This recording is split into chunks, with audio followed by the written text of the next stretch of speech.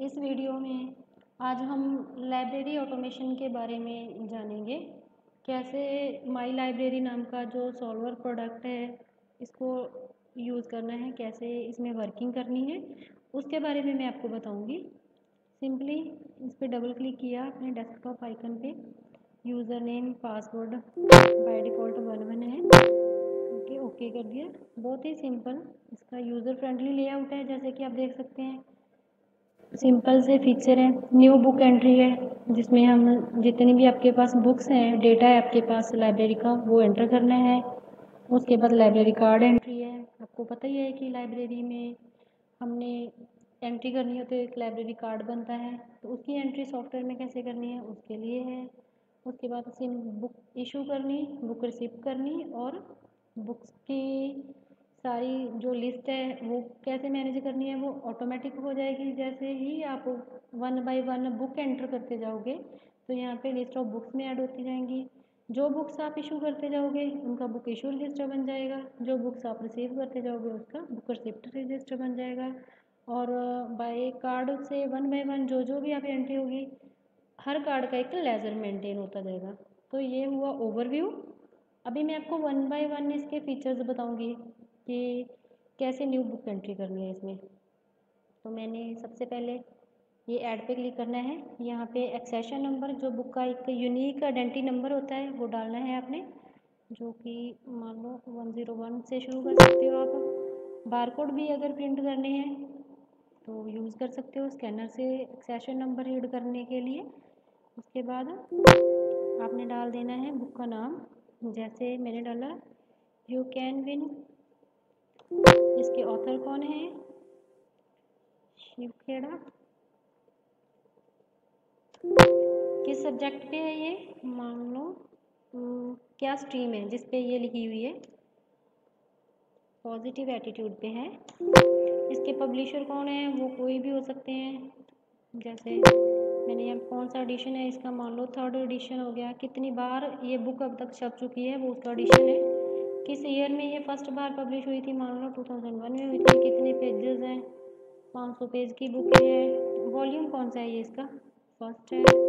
किस लोकेशन पे पड़ी है? लाइब्रेरी में इसकी लोकेशन क्या है मान लो? फ़र्स्ट रैक में पड़ी है। तो इस, किस टॉपिक पे लिखी है? जैसे कि मैंने पहले बताया है पॉजिटिव या पर्सनैलिटी डेवलपमेंट जो भी इसका आपको लगता है कि टॉपिक हो सकता है। पर्सनैलिटी डेवलपमेंट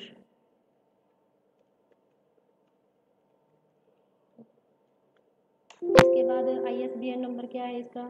हर बुक का एक स्टैंडर्ड बुक नंबर उसको आई नंबर कहते हैं। कैटेगरी किसमें आती है? जैसे ये जनरल बुक्स में आ गई। जनरल बुक स्ट्रीम क्या है? पब्लिकेशन एट कॉल नंबर ये सारी चीज़ें ऑप्शनल होती हैं। आप डालो, छोड़ो कोई है सिर्फ़ मैंडेटरी फ़ील्ड है, जैसे एक्सेशन नंबर बुक का नाम और आथर नेम ये ज़रूरी है डालना आपने। इसके बाद मैंने इसको कर दिया सेव इस तरह से जो भी आप बुक की एंट्री करते जाओगे, वो आप यहाँ पे लिस्ट बनती जाएगी। यहाँ पे सर्च लगे हैं आप, उसको एक्सेशन नंबर से ऑथर से पब्लिशर से सोर्स से टाइटल से सर्च कर सकते हो। डबल फ़िल्टर लगा है ठीक है? मान लो सेशन नंबर से आपको राइटर के नाम से वो सर्च नहीं हो रही है या बुक के नाम, एक ही नाम से चार पाँच बुक्स हैं तो यहाँ पे सर्च कर सकते हो अगर आपने उसको फाइंड आउट करना है। इसको मैंने कर दिया क्लोज इस तरह से न्यू बुक एंट्री करनी है। तो बहुत बहुत सिंपल काम है। जो भी बुक्स की आपने एंट्री कर ली, उसकी बन जानी है लिस्ट ऑफ़ बुक्स आपके पास यहाँ पे। कर दोगे तो जितनी भी बुक्स आपने ऐड करी हैं, वो सारी यहाँ पे आ जाएँगी। इनको आप पूरी लिस्ट को प्रिंट कर सकते हो एक साथ। वन बाय वन किसी को प्रिंट करना है तो कर सकते हो। इनके लिए स्टिकर प्रिंट करना है तो कर सकते हो। इसको बस सिंपली सामने से सिलेक्ट करके आपने प्रिंट स्टिकर पे क्लिक कर देना है तो आपका स्टिकर प्रिंट हो जाएगा। इसको एक्सेल में एक्सपोर्ट कर सकते हो एक्सेल से बुक्स इंपोर्ट कर सकते हो। ये सारी चीज़ें बहुत ही सिंपल हैं। तो इसके बाद आप क्या करोगे? न्यू बुक एंट्री के बाद हमारे इसके बाद लाइब्रेरी में यूज़ होते हैं कार्ड जिनके थ्रू लाइब्रेरी में एंट्री होती है। तो जैसे कि यहाँ पे एक ग्रुप बना ही हुआ है स्टूडेंट का। मैं इसको अपडेट करके आपको बता देती हूँ। या दोबारा से हम एक बना लेते हैं। जैसे ग्रुप का नेम डालना सबसे पहले। स्टूडेंट अगर तो लाइब्रेरी स्कूल या कॉलेज भी है तो स्टूडेंट हो सकता है। अदरवाइज़ आप एक नाम रख लो, कोई भी ग्रुप नेम उसके नाम से सबके लिए जनरल लाइब्रेरी में स्टूडेंट या या कोई भी आप लर्नर रख लो, जो भी सूटेबल आपको लगता है अकॉर्डिंग टू लाइब्रेरियन चॉइस रख दो फाइन पर डे अगर लाइब्रेरी से बुक्स लेने की एक लिमिट है, मान लो आप दस दिन बुक रख सकते हो, उसके बाद अगर कोई फ़ाइन लगता है तो यहाँ पे मेंशन कर दो, मान लो टेन रुपीज़ फ़ाइन है. Maximum number of books allowed मतलब आप ज़्यादा से ज़्यादा कितने बुक्स एक टाइम पे लाइब्रेरी से ले सकते हो? मैंने यहाँ पे रखी फाइव मैक्सिमम डेज़ अलाउड कितने दिन तक रख सकते हो? वो मैंने रख दी. टेन डेज़ आप एक बुक रख सकते हो. कोई रिमार्क्स डालना है तो वो डाल देना जैसे कीप द बुक सेफ़ हो या कुछ भी. इसको कर दिया सेफ़ ठीक है, इसे ग्रुप एंट्री कर देनी है. आफ्टर दैट हमने बनाने लाइब्रेरी कार्ड ऐड पे क्लिक कर दिया. सबसे पहले कार्ड का नंबर सीरियल नंबर मेंटेन करेंगे हम कार्ड वाइज तो किस ग्रुप का है? मैंने एक ही ग्रुप बनाया तो स्टूडेंट आया। इसका सीरियल नंबर अगर जर्नल लाइब्रेरी है तो वो सीरियल नंबर है, अगर स्कूल कॉलेज लाइब्रेरी है तो रोल नंबर है। यहाँ पे नाम रख दिया मैंने। मोहित कुमार। फादर्स नेम रख दिया। अशोक कुमार। एड्रेस क्या है उनका?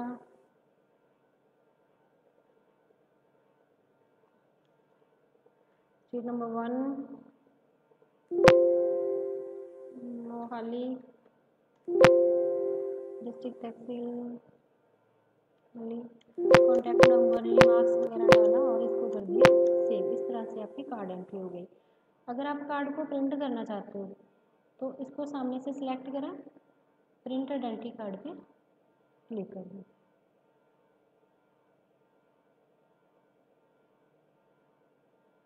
यहाँ पे उसका प्रिव्यू आ जाएगा। फ़ोटो भी आप अटैच कर सकते हो यहाँ पे हार्ड कॉपी यहाँ से अगर स्कैन करके फ़ोटो लगाएँगे, इसको अपडेट करके यहाँ पे मान लो क्लिक करके आप कोई भी फ़ोटो यहाँ से ले सकते हो। में जाके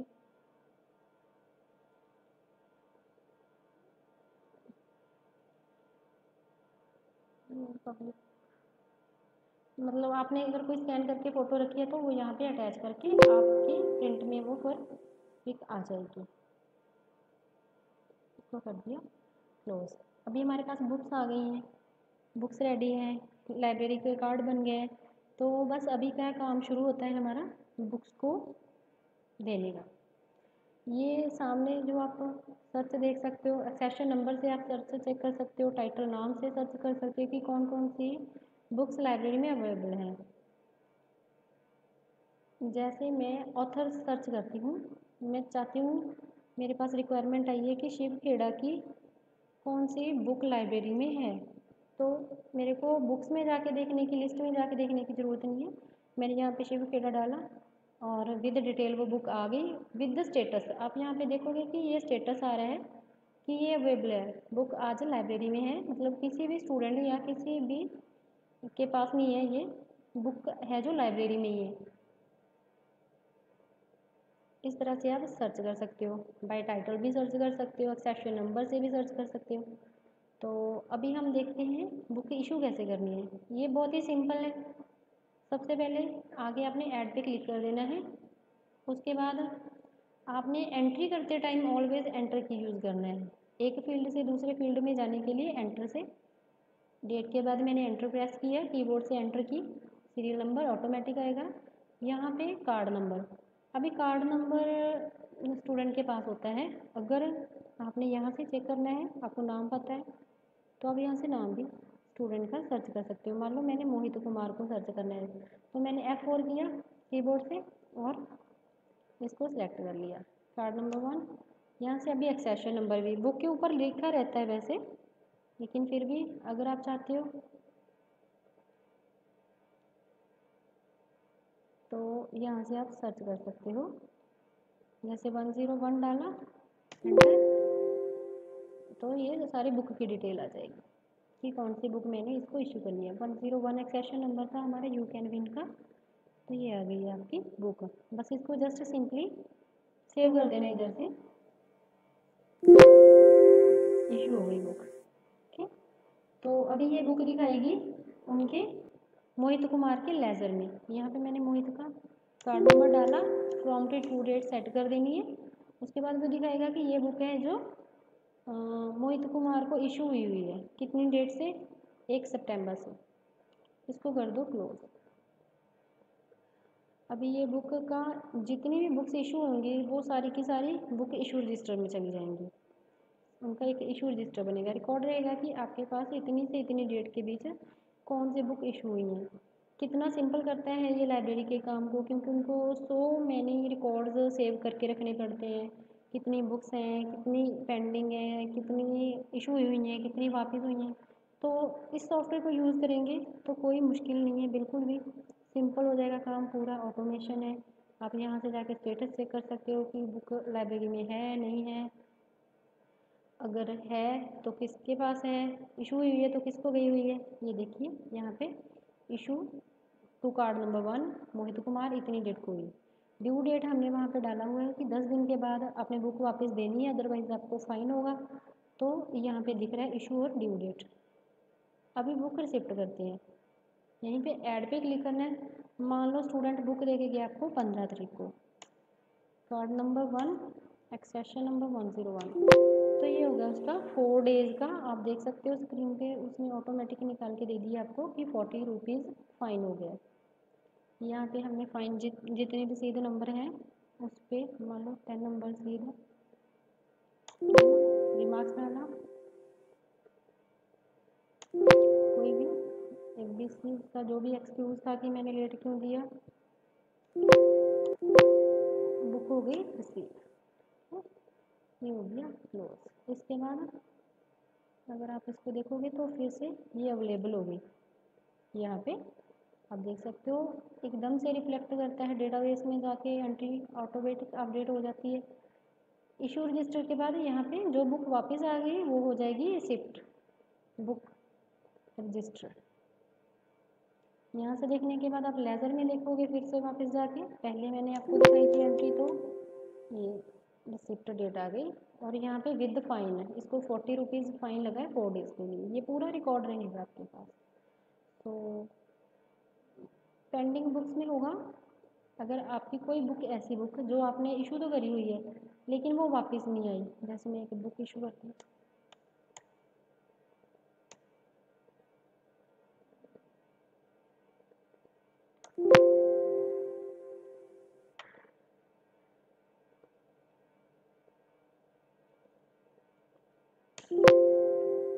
तो सेव कर दिया।